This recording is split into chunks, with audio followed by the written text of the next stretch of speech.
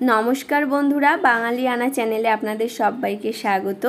সামনেই গণেশ চতুর্দশী, সেই উপলক্ষে আজকে তৈরি করব সুজির লাড্ডু রেসিপিটা।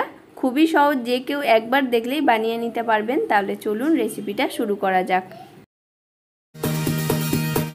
সুজির লাড্ডু তৈরি করার জন্য এখানে প্রথমেই এক কাপ শুকনো নারকেলের গুঁড়ো নিয়েছি, এটাকে শুকনো খোলায় ভেজে নেব। তার জন্য ওভেনে একটা ফ্রাই প্যান গরম করে এর মধ্যে নারকেলের গুঁড়োটাকে দিয়ে দিচ্ছি। এবার গ্যাসের ফ্লেম মিডিয়াম টু লো ফ্লেমে রেখে দুই তিন মিনিট নারকেলের গুঁড়োটাকে হালকা লালচে কালার আসা অবধি ভেজে নেব। আমি এখানে শুকনো নারকেলের গুঁড়ো ব্যবহার করেছি, আপনারা চাইলে ফ্রেশ কোরানো নারকেলও দিতে পারেন। দেখুন, নারকেলটা ভাজা হয়ে গেছে, এটাকে একটা প্লেটে নামিয়ে নিচ্ছি। এখানে আমি একটা চায়ের কাপ মেপে সব কিছু নিচ্ছি। আপনারা চাইলে মেজারিং কাপ মেপেও নিতে পারেন। এবার ওই একই ফ্রাই প্যানে এক কাপ সুজি নিয়ে নিচ্ছি। গ্যাসের ফ্লেম একদম লো ফ্লেমে রেখে সুজিটাকে পাঁচ, ছ মিনিট ভালো করে ভেজে নেব। হাই ফ্লেমে কখনোই সুজিটাকে ভাজবেন না, এতে লালচে একটা কালার চলে আসে। প্রায় ছয় মিনিট সুজিটাকে ভেজে নিয়েছি। এখন এর মধ্যে দিয়ে দেব দু কাপ দুধ। দুধটাকে আগে থেকেই জাল দিয়ে রেখেছিলাম। সুজি ভাজার সময়ও গ্যাসের ফ্লেম লো ফ্লেমে ছিল। আর এখনও কিন্তু গ্যাসের ফ্লেম লো ফ্লেমেই আছে, অবশ্যই লো ফ্লেমে রেখে দিতে হবে। এবার সুজির সাথে দুধটাকে খুব ভালো করে মিশিয়ে ছয় সাত মিনিট রান্না করে নেব।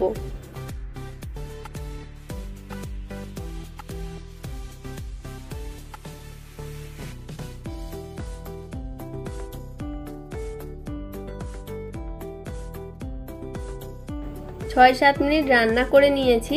এখন দেখুন অনেকটাই শুকনো হয়ে এসেছে। এই পর্যায়ে এখানে দেখুন হাফ কাপ ঘি নিয়েছি। এই ঘিটাকে অল্প অল্প করে দিয়ে সুজির সাথে খুব ভালো করে মিশিয়ে নেব। আমি একবারে কিন্তু ঘিটাকে দিচ্ছি না।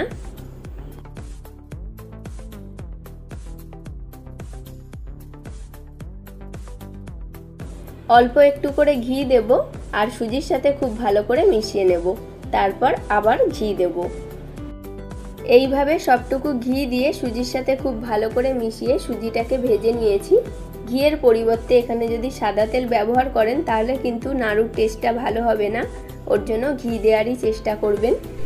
এবার এর মধ্যে কিছু ড্রাই ফ্রুট দিয়ে দেব। প্রথমেই দিয়ে দিচ্ছি দশ পনেরোটা আমন্ড বাদাম কুচি, দশ বারোটা কাজু বাদাম কুচি, আর শেষে দিয়ে দিচ্ছি এক চামচ পেস্তা কুচি। এবার সব কিছু একসাথে খুব ভালো করে মিশিয়ে নেব। খুব ভালো করে মিশিয়ে নিয়েছি, এখন এটাকে আরও পাঁচ মিনিট নেড়ে চেড়ে রান্না করে নেব। প্রায় পাঁচ মিনিট রান্না করে নেওয়ার পর এর মধ্যে দিয়ে দিচ্ছি এক কাপ চিনির গুঁড়ো। এবার সুজির সাথে খুব ভালো করে মিশিয়ে নেব। আপনারা যদি এই নাড়ুতে নারকেল কোড়া দেন, তাহলে এই সময় দিয়ে সুজির সাথে খুব ভালো করে মিশিয়ে নেবেন। আমি যেহেতু শুকনো নারকেলের গুঁড়ো দেব, তাই সেটা পরে মেশাবো। চিনির গুঁড়োর সাথে সুজিটাকে খুব ভালো করে মিশিয়ে নিয়েছি। আরও দুই তিন মিনিট নেড়ে চেড়ে সুজিটাকে একটু শুকনো শুকনো করে নেব। মিশ্রণটা একদম তৈরি। এবার গ্যাসের ফ্লেম বন্ধ করে এই মিশ্রণটাকে একটা পাত্রে ঢেলে ঠান্ডা করে নেব। মিশ্রণটা যাতে তাড়াতাড়ি ঠান্ডা হয়ে যায়, সেই জন্য স্প্রেড করে দিচ্ছি। এখন মিশ্রণটা অনেকটাই ঠান্ডা হয়ে গেছে। এই পর্যায়ে আমি দিয়ে দেব শুকনো খোলায় নারকেলের যেই গুঁড়োটা আমি ভেজে রেখেছিলাম, সেটা দিয়ে দিলাম। আর দিয়ে দিচ্ছি সামান্য একটু এলাচের গুঁড়ো। এবার হাত দিয়ে সব কিছু একসাথে খুব ভালো করে মিশিয়ে মেখে নেব।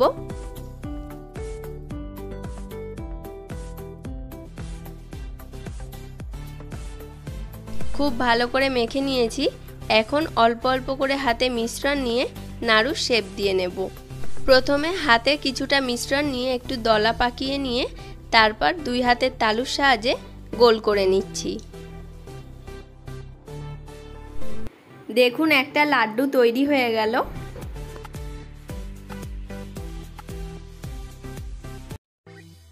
এই একই পদ্ধতিতে সব লাড্ডুগুলোকে তৈরি করে নেব।